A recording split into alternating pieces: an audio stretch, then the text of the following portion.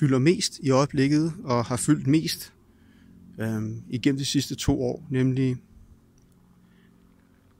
de folk, der har svigtet mig.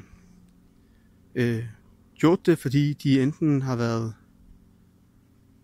uintelligente, eller dogne, eller en kombination af begge dele.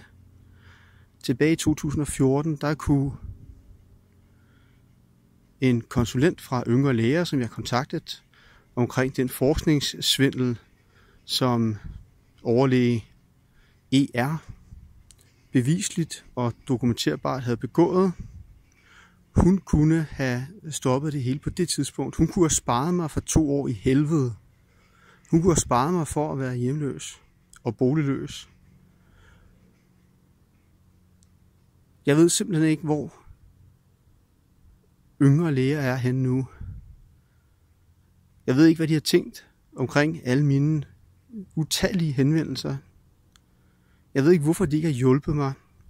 Alt det, jeg nogensinde har postuleret, det er jo noget, som jeg har på skrift, sort på hvidt.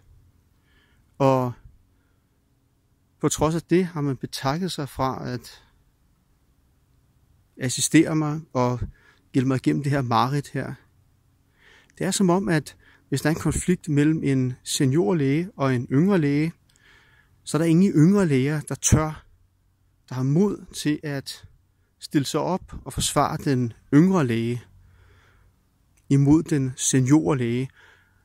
Og det er også på trods af, at den yngre læge har så objektivt, som man overhovedet kan, bevist, at den senior læge har udført regelret forskningssvindel, administrativ svindel øhm, og økonomisk svindel.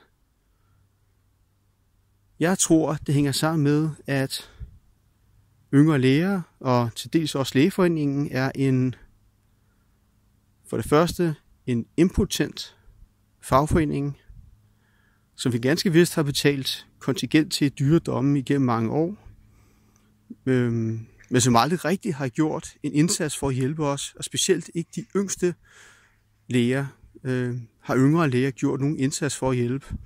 Her tænker jeg selvfølgelig på seksårsreglen, eller seksårsfristen.